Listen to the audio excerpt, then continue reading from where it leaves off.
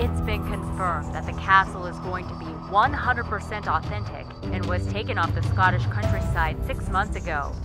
It's being disassembled, shipped across the ocean, and being reassembled brick by brick on top of the skyscraper.